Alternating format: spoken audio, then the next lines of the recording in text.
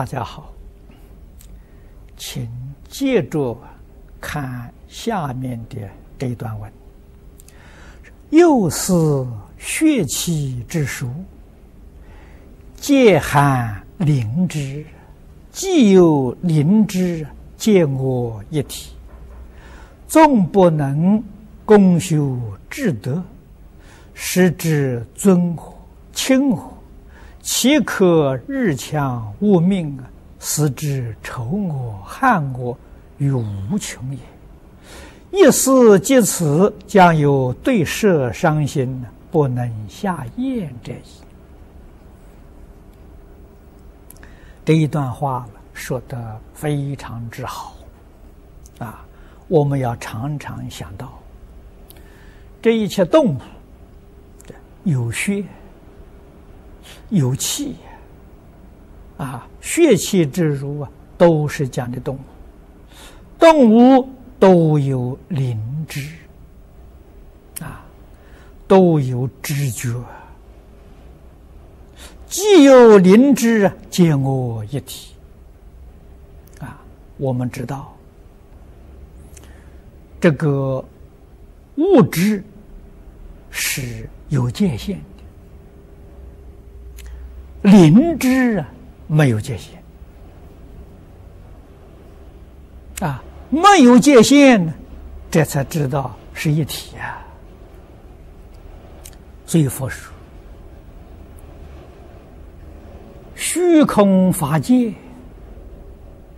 是我们心的现象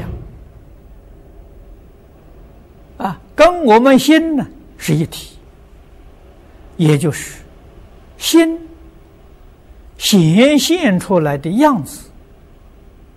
就是虚空法界啊！那我们的妄想、分别、执着，变现出来的样子，就是众生、国土，包括现在所讲的自然现象，凡夫。粗心大意，很难觉察到虚空法界跟自己是一体。正因为它本来是一体，所以一切众生彼此之间都有感应。感应的灵敏程度，与众生的清净心、染物心呢，可以说成一个正比例。心越清净，感应的灵敏度啊越强。所以在佛与大菩萨他们的境界当中，整个虚空法界，所有一切众生，跟他都起感应道教的作用，啊，就如同他这个接收器呀，非常灵敏，极微弱的这个波动啊，他都能够受得到。而我们凡夫这个接受能力呀差了，啊，实在我们接受能力原本是相同的，现在为什么有这么大的差距呢？啊，他的接收器呀保持的非常完整，跟新的一样啊，啊，我们这个接收器呀不知道保管，染物了许许多多尘垢。脏乱不堪，所以接受的能力啊差了。只有大的波动，我们能够觉察到；微细的波动啊，完全接受不到了。就像这个比喻，相似。如果我们自己能够真正做修养的功夫，啊，所以修养功夫就是把我们心地的秽垢洗刷清除掉，恢复到我们的本能，那我们接受的能力就跟诸佛如来无二无别了。虚空法界，过去未来，啊，所有极其微弱波动的现象，我们都清清楚楚、明明白白。这个接收的工具不需要机械，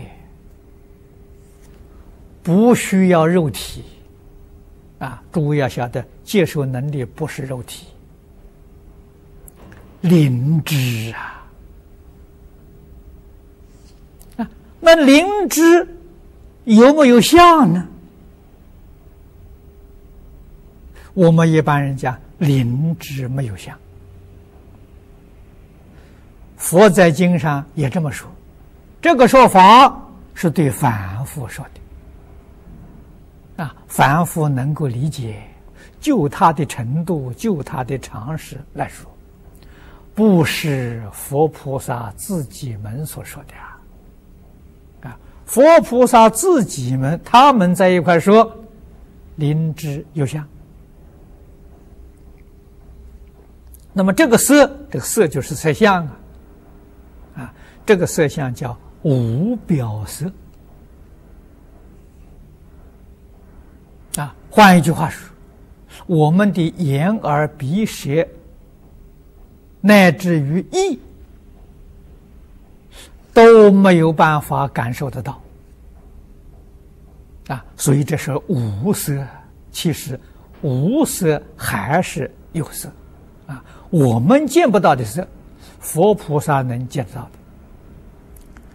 这个话很难懂啊，我们得举比喻来说。譬如人都会做梦，那我问你啊。梦中有没有色相呢？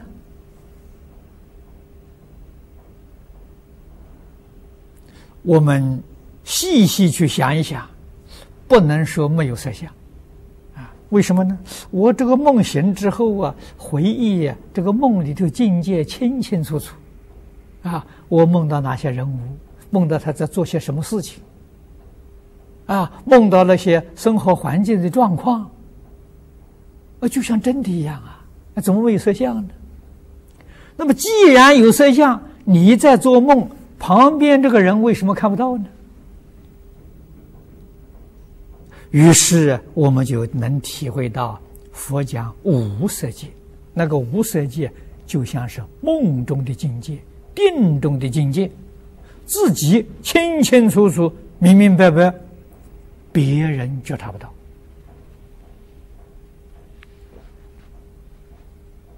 啊，别的人跟我们在一起，无论他是醒着或者是一同睡着，他没有办法进入到我的梦中啊，他见不到我梦中境界呀。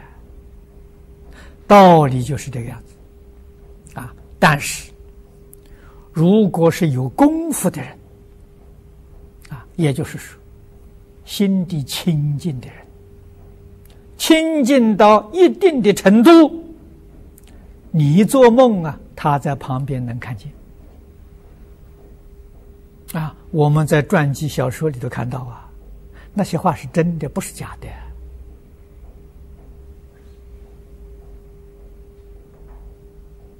的啊！大家读书啊，也许都读过传奇小说的《黄粱梦》啊，这一个。老道是个修行人啊，有定功啊。他在那个地方闭目打坐啊，旁边这个秀才啊，在旁边打瞌睡，在做梦啊。梦醒了之后，这个老道给你给给他说：“你梦中做了什么事情，什么事情，他全都知道了。怎么知道？他看见了嘛？啊，梦中那个心，那个境界，心变现的，哎，他看到了。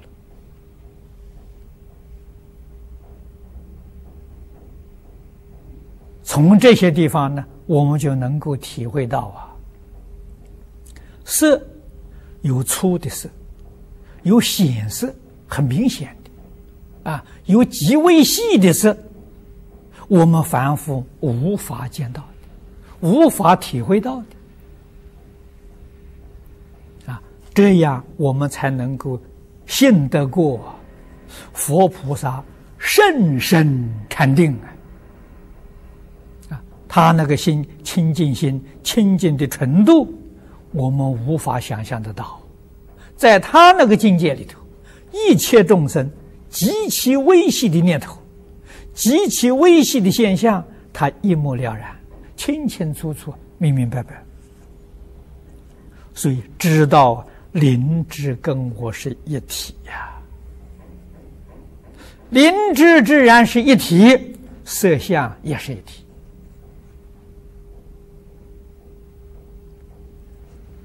说纵不能功修之德啊，我自己不能把自己的道德水平。修到究竟圆满，为什么呢？道德真正到这个程度，这些小动物啊，对你都尊敬，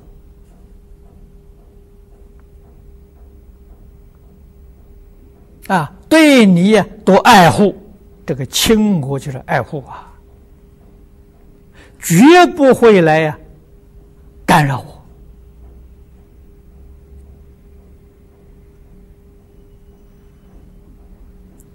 我们要有德行去感化他们呐！啊，印光大师七十岁之后，房间里这些小动物都没有了，啊，蚊虫、蚂蚁、蟑螂、跳蚤一个都找不到。七十岁的道德修养达到这个水平了，这些小动物啊，对于大师。都敬仰，啊，都来保护他，怎么会来干扰他呢？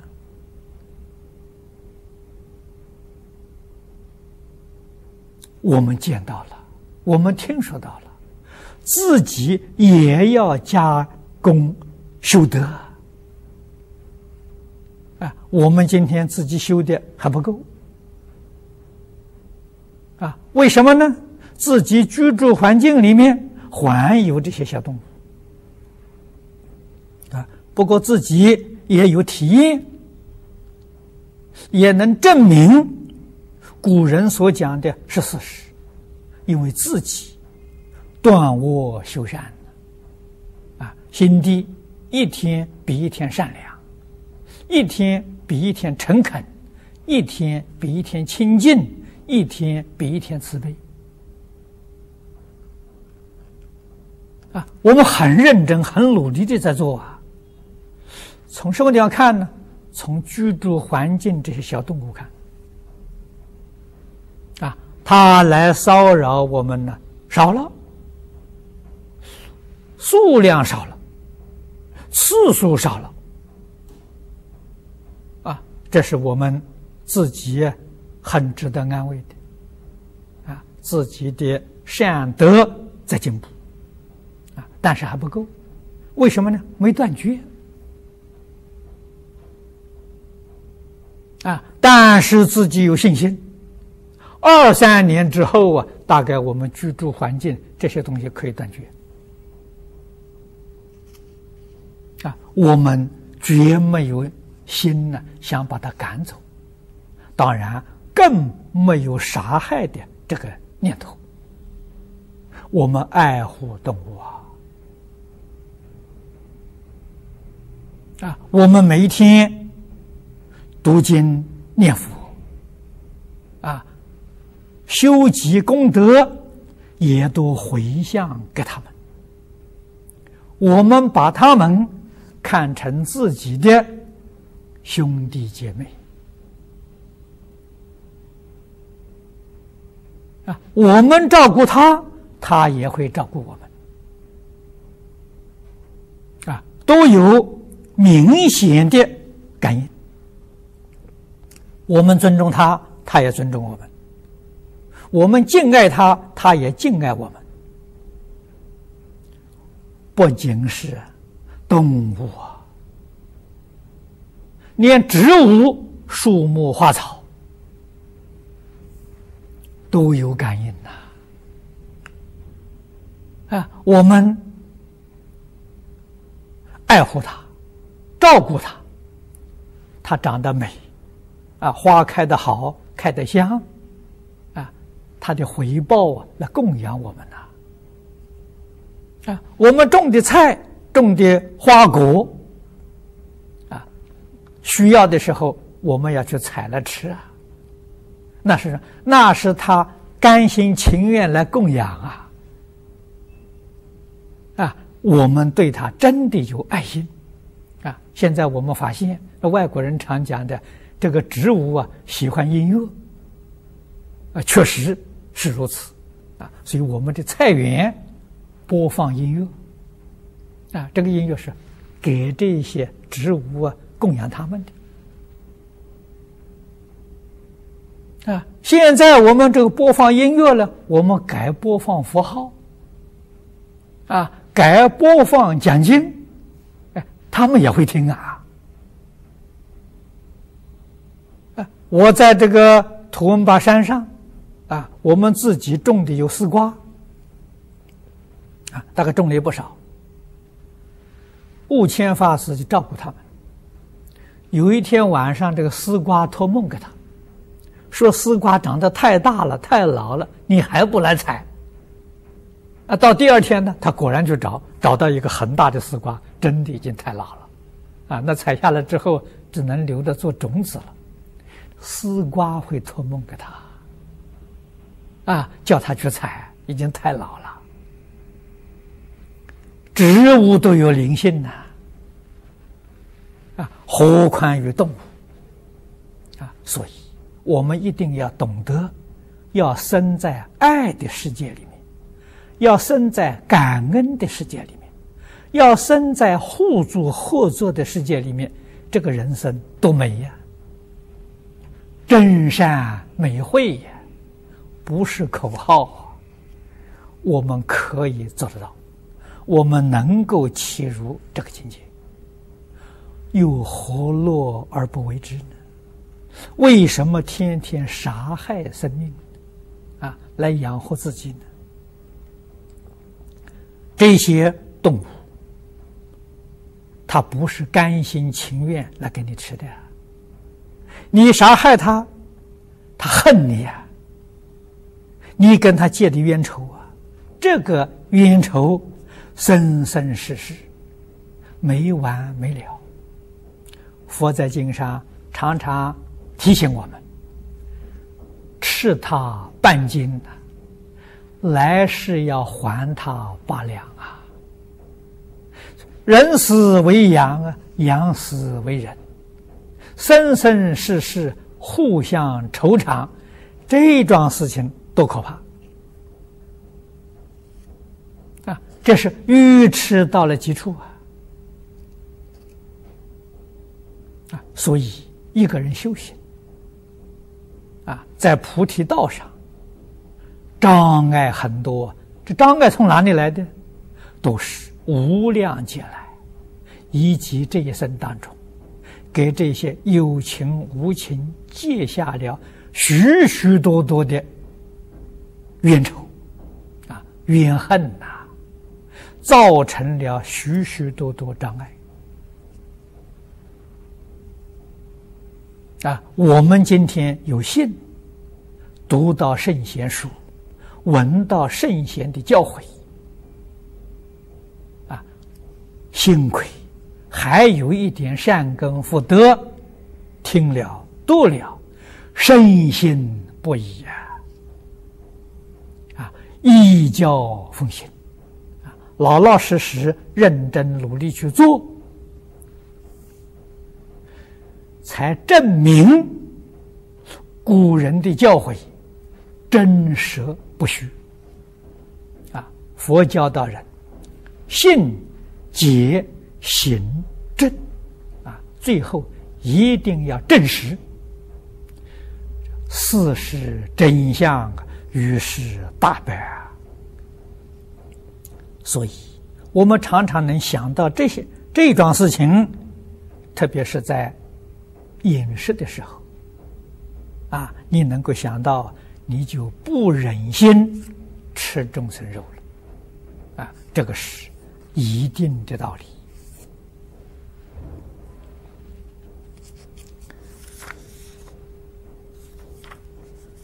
接着，廖凡先生又说。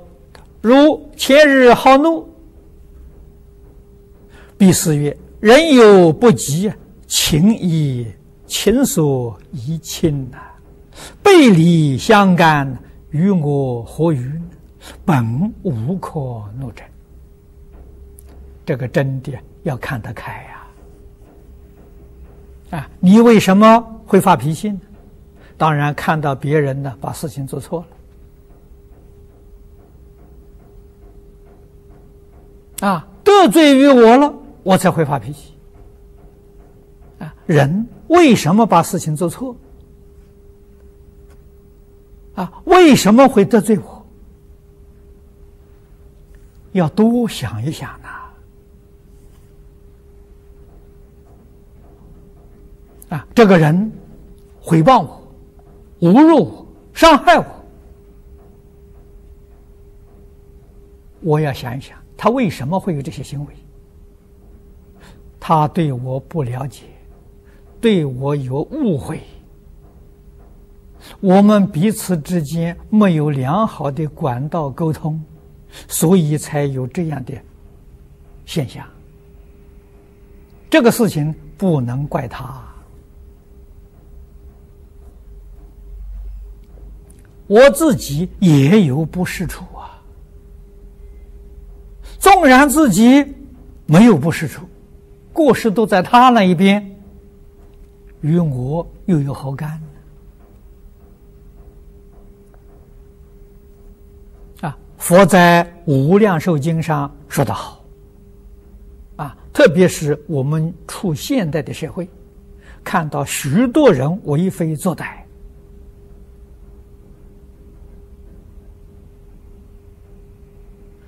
使我们自己有时候确确实实好像不能忍受啊！佛在经上告诉我，啊，这些人为什么会有这种行为？信人无知，不设道德，无有愚者，殊无怪也。佛说这个话多温和，这这些人，他的父母，他的长辈。不懂得仁义道德，没有好好的教导他了，所以他才犯过，啊，才做一些违背法纪的事情啊。我们看到了，听到了，应当原谅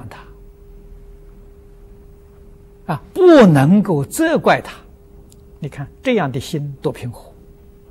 啊，这个心量多伟大！我们应当要学习啊，不可以责怪他。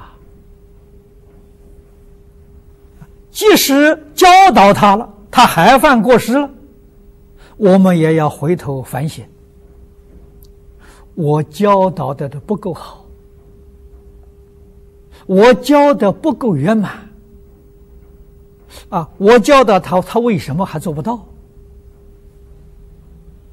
啊！不要把过失都推给别人，应当回过头来自己好好想想。啊！你比如现在有很多做父父母的，啊，遇到我法师啊，现在儿女不听话了。啊，有很多做老师的了，告诉我法师，现在学生不听管教啊。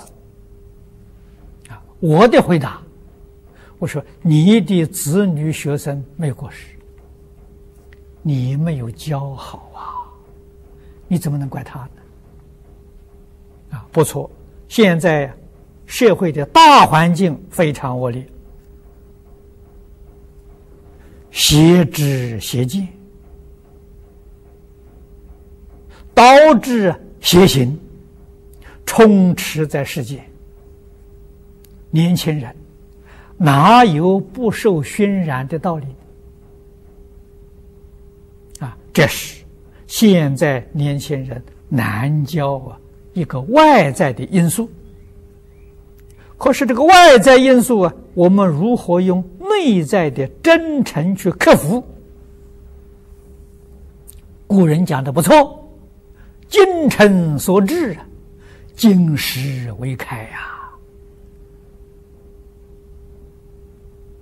啊，那我们再细想一想，连这小动物、蚊虫、蚂蚁都能感动。花草树木也能感动，人岂不能感动吗？啊，不能感动啊，是我们的精诚没有达到啊！啊，如果我们自己能够这样的反省，那就好了，一定呢会把自己的德行向上提升。唯有提升自己的道德。才能感化现代这些年轻人啊！我们自己没有清高的道德，一昧去责怪年轻人，去惩罚年轻人，这不是办法啊！教育这个手段，惩罚。不是一个最好的手段，啊，最好的手段是感化了，是要自己用真诚、爱心，啊，亲近平等的爱心，去感化一切众生，啊，佛菩萨对于畜生、恶鬼、地狱都能够感化他。都能够引导他回头是岸的啊！何况世间有情众生啊！我们应当想想，要怪自己的功夫德行不够，决定不能怪别人还没有接受感化。啊，这样才能成就自己，成就他人。啊，佛在经上说的：“未能自度，而能度人，无有是处。”这句话说的好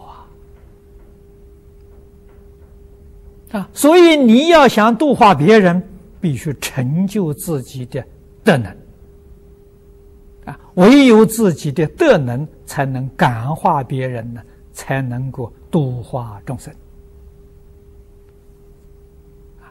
佛在经教上说的这样的圆满，这样的究竟，我们读诵经典的人不能疏忽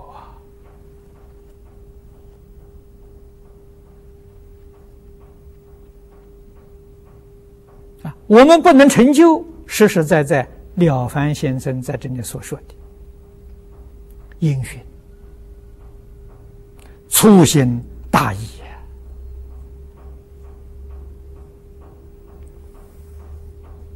啊！进一步，这又教给我们：又思天下无自恃之豪杰，又无有人之学问，行之不得了，皆己之德未修。敢为之也啊！这些都是我刚才所说的啊！天下没有自以为是的豪杰啊！凡是自以为是、刚愎自用的这个人，不是绝不是英雄豪杰！那。称赞他是英雄豪杰，那只是称赞而已，有名无实啊！真正的英雄豪杰，绝没有自以为是啊！那我们称佛为大英雄啊！你看这个寺院里头供养佛佛像的大殿，称为大雄宝殿这我们称他大英雄啊！佛有没有自以为是呢？没有。啊，佛跟众生讲经说法，他说了，他自己没有说一句话了，没有说一句，说了四十九年。啊，这是什么缘故呢？他所说的都不是自己的，啊，是谁的呢？古佛所说的。啊，孔老夫子一生教学，也说他没有他自己意思。他一生呢，只是述而不作，所说的都是古圣先王的教诲。你看这么样的谦虚啊！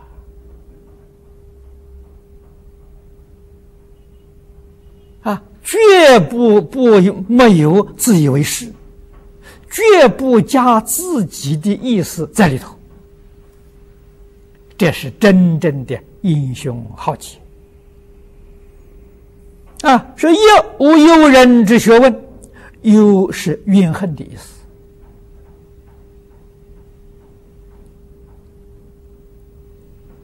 啊！圣贤人的学问呢，绝不会引发一个人自私自利。绝不会引起一个人贪嗔痴慢，绝不会教你去害别人利益自己。圣贤的学问没有这些！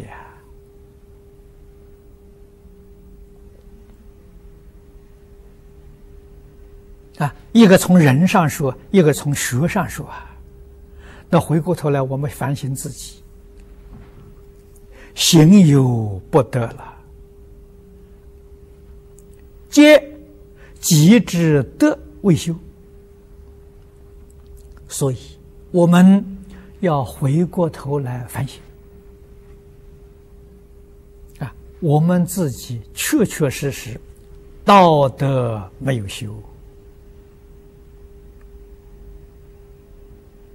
我们的真诚。不够，所以我们的感化达不到啊！啊，无信以自反呢？这些东西我们要认真自己反省啊！所以要想帮助社会，帮助别人，啊，帮助社会呀安定和平，帮助一切众生。幸福美满，从哪里做起？从自己修德做起。啊，你自己没有真正的德学，如何能感化众生？啊，自己还有一丝毫自私自利、名闻利养念头还没有放下，如何能感动众生？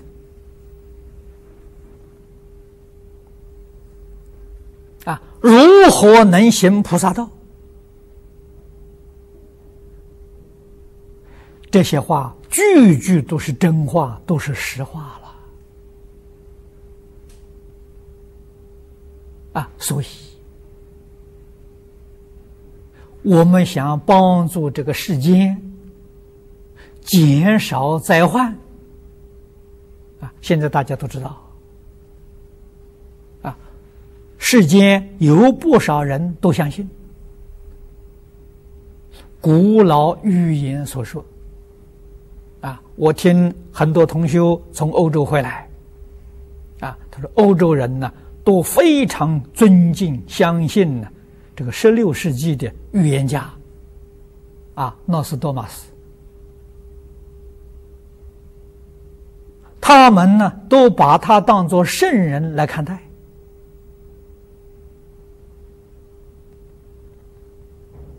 他的预言是讲我们这个世纪有大灾难呐。啊，基督教圣经里面讲世界末日，啊，伊斯兰古兰经里面也讲世界末日，大概都是在这个阶段当中。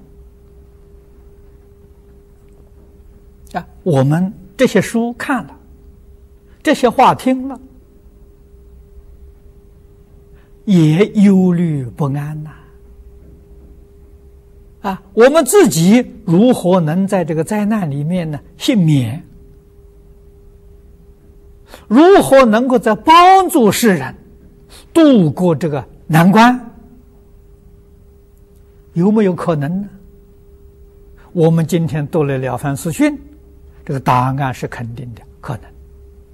我们自己修养道德，自己就超越了。佛家里解所说的。共业里头有不共业啊，我们自己可以超越，我们自己有能力超越，那就要帮助广大了苦难众生啊！如何帮助他呢？一定要以德行，要以学问去感化他，让他觉悟，让他明了，让他了忏悔，也能够断恶修善。积功累德，这个灾难可以化解啊！纵然不能完全化解，可以把灾难程度啊减轻，把灾难的时间缩短，这个效果就是很大的功德了。我们应当。认真努力去做，怎样修养自己的德行？这个书里头举的例子很多，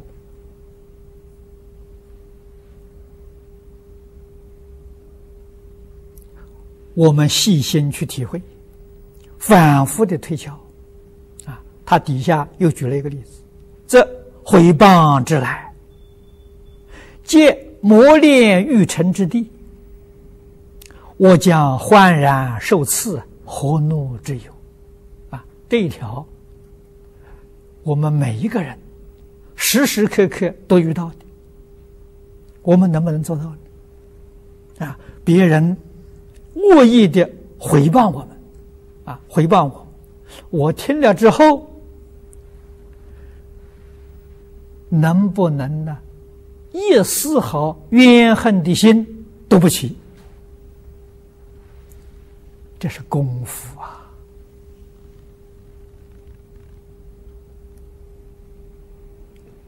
啊，有人造谣生事，在外面回谤我，啊，有同学来告诉我，啊，某人啊说你的坏话，怎么样回报你？他一开口，我就制止他，不要再说下去。啊，他感觉到非常惊讶，是为什么？我告诉他，我希望我的心对那个人呢，永远保持最好的印象。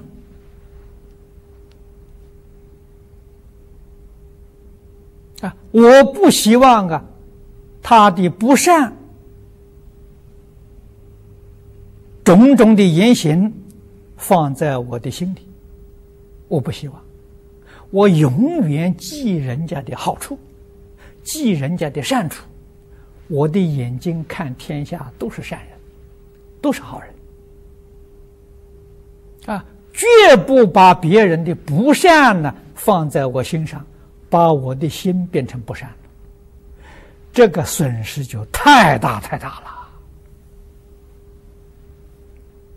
那个说我坏话的人，啊，破坏我的人，从前对我很好啊，我永远感他的恩，戴他的德，啊，以后种种这个不善呢，那是别有因素。这个因素里面多半都是误会呀！啊，他为什么啊？从前对我好，现在对我不好呢？啊，从前我对他有好处，现在好像我对他没有好处。啊，从利害上啊，心理态度言行改变了。啊，这个改变我清楚啊。我过去对他好，现在对他更好，啊，是他不了解，啊，为什么呢？他的心目当中啊，只是名闻利养的厉害啊，啊，我今天已经提升了一步啊，我今天完全讲的是德行啊，啊。在道德上向上提升了，名利上我放下了。啊，我对他的好他不了解，他产生误会，我应当要原谅他。说原谅他，我的这个心胸已经很小了，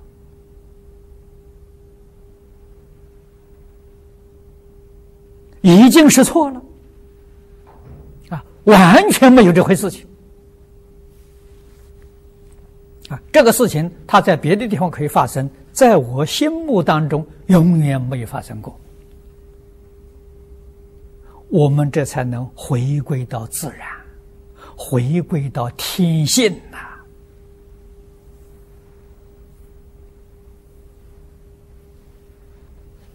啊，许哲为什么一百二十岁还这么年轻？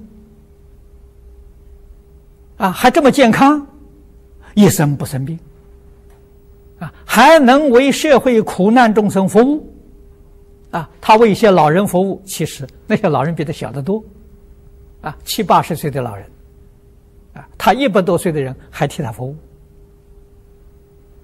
啊，什么原因呢？心底里头不夹杂丝毫不善的念头。决定不许可有丝毫不善的东西跑在我的心里面去，我都要防范呐。我这个心里头只容纳一切众生的善善心、善行啊善德，这才是修养自己的道德啊。所以，我们遇到了人家回谤。侮辱、陷害，我感激啊！为什么？从这个境界里面来勘验自己功夫究竟到什么程度了啊！如果我还有有一念厌恶的心，有一念不高兴，自己立刻回过头来要忏悔，我的德行不够啊！为什么经不起考验呢？啊所以决定是欢喜受赐啊，何怒之有呢？啊，人家这样对我，我用这个态度对他，哎，这个慢慢传到对方去了，对方会感激，会回头是岸。我救了自己，也救了别人。啊，如果我一听到别人回报，我就发怒。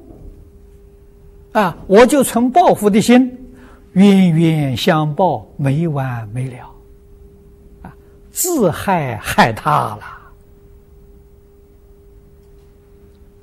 这个道理不难懂啊！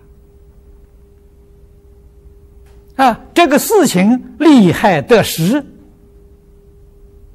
也不是很难明了的，啊，多想想多。这个多思维，我们就能够自救救人，自度度他。这又何乐而不为之呢？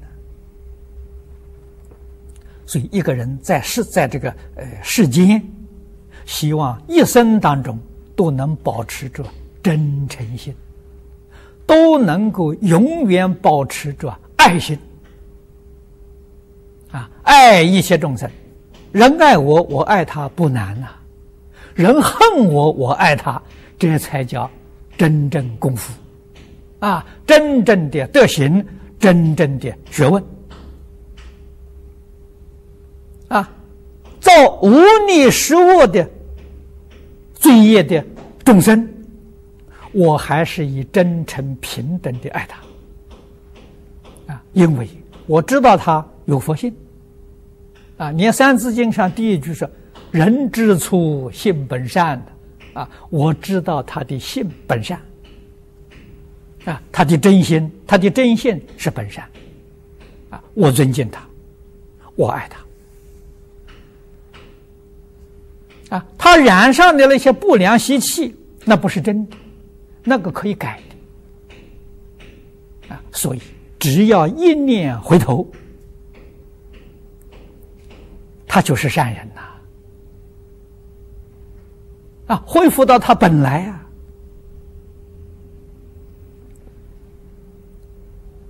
这些道理、事实真相不能不知道啊。廖凡先生接着说：“又闻谤而不怒。”啊，若无其事，虽谗言熏天，如聚火焚空啊，终将自熄。我从年轻的时候学到了，我懂得，我明了。啊，好像是在去年，这个悟道法师啊，把这个台湾有一些报纸杂志啊。传真给我，写了封信给我。这些呢，都是台湾一些呃出家人，指着我的名字回谤我，啊，侮辱，说我这个提倡《无量寿经》会集本是很大的罪过，啊，误导许许多多念佛人，啊，长篇累牍的。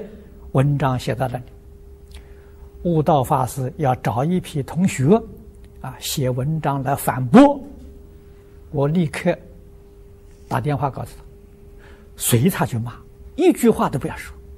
为什么呢？他骂累了就不骂了嘛，与我不相干嘛。他写文章随他写，他总会有写累的一天呢。啊，我们一丝毫反应都没有。他悟道是忍了气啊，好听话啊，我们就不理他。那现在不就没有了吗？啊，这个骂人要知道啊，两个人越骂越起劲。如果一个人骂，一个人不吭气，骂到最后他骂累了，他自然就不骂了。这个人坐在这里很舒服，啊，在那什么，在听唱歌啊。那哪个人高，哪个人低呢？旁观的人说：“哎，某人有修养，哎，某人很很这是这这个的风度很差。”有人批评呢，我们何必说一句话呢？